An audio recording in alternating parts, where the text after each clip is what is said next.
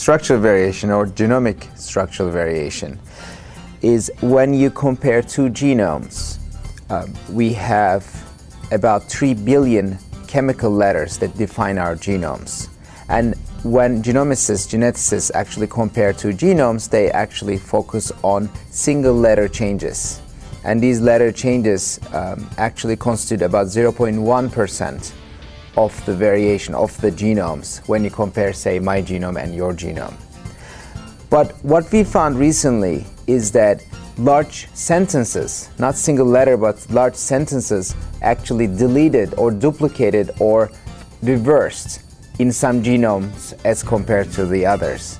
And these are called structural variants. And these are larger than single letter changes. And as such, they may have a more profound impact on what these genetic differences mean. Maybe they actually delete a gene that relates to growth.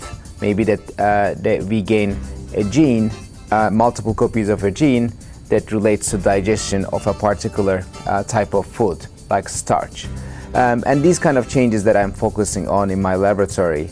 And I'm comparing human genomes to each other and human genomes to chimpanzee genomes or Neanderthal genomes to see what are the differences, what makes us human, what contributes to our genetic variation. So these are the questions that we are trying to answer and we use a lot of um, molecular genetics techniques including PCR to amplify DNA, DNA sequencing, next generation sequencing. We also do a lot of analysis of the RNA, the transcripts that uh, result from the expression of the DNA uh, code.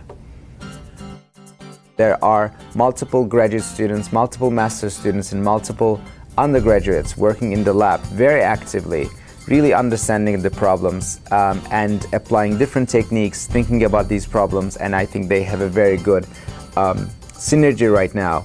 Um, and that idea that I am actually, even if I cannot publish any papers, even if I cannot find the results that I want to, uh, to find, that at the end of the day there will be uh, people, students, uh, coming out of the lab learning a good amount of computational biology, uh, about bioinformatics, about biology, about genetics, etc., which I'm very proud of and happy that this is actually something that is happening in, uh, in Buffalo.